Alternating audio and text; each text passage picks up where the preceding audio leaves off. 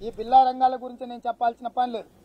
తెలంగాణ ఉద్యమంలో ఒక రకమైన దోపిడీ తెలంగాణ రాష్ట్రం వచ్చిన తర్వాత ఇంకొక రకమైన దోపిడీ ఆ తర్వాత అధికారాన్ని దుర్వినియోగపరిచి కాళేశ్వరంలో వేల కోట్ల రూపాయలు ధరణి రూపంలో వేల ఎకరాల భూములను ఈ రకంగా లక్ష కోట్ల రూపాయలను పదివేల ఎకరాల భూమిని ఈరోజు వాళ్ళు సంపాదించిండ్రు.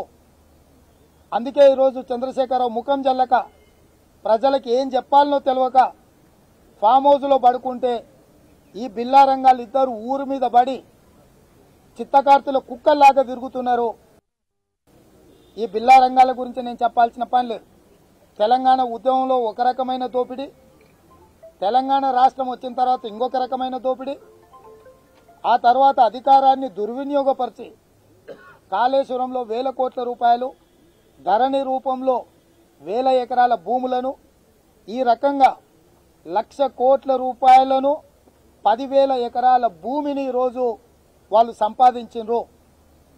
అందుకే ఈరోజు చంద్రశేఖరరావు ముఖం జల్లక ప్రజలకు ఏం చెప్పాలనో తెలియక ఫామ్ హౌస్లో పడుకుంటే ఈ బిల్లా రంగాలు ఇద్దరు ఊరు మీద పడి చిత్తకార్తెల కుక్కల్లాగా తిరుగుతున్నారు. ఎమ్మెల్యే కాకుండానే హరీష్ రావును ఈ బిల్లాను మంత్రిని చేసింది కాంగ్రెస్ పార్టీ. రెండు వేల నాలుగులో యూపీఏ అధికారంలోకి వచ్చిన తర్వాత ఈ బిల్లా ఎమ్మెల్యే కూడా కాదు ఆ రోజు. కాంగ్రెస్ పార్టీ దయదలిచి సోనియా గాంధీ గారు బిచ్చమేస్తే ఈ బిల్లా మంత్రి అయిండు. మంత్రి అయిన తర్వాత సిద్దిపేటకి ఎమ్మెల్యే అయిండు.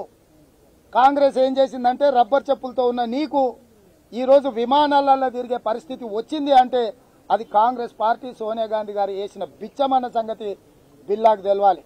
ఇక రంగా మరుగుజ్జులు అంటుండు మమ్మల్ని అందరినీ. సంతోషమే. నీ అయ్య పెద్ద బాహుబలా ఎప్పుడన్నా అద్దంలో చూసుకున్నాడా ముందర నిలబడి? ఇప్పుడు చూసుకోమను ఒకవేళ. బాత్రూంలో నుంచి రాగానే అద్దం ముందర నిలబడి నీ అయ్యని చూసుకోమను. నీ అయ్య బాహుబలి అయితే మేము మరుగుజ్జులమే.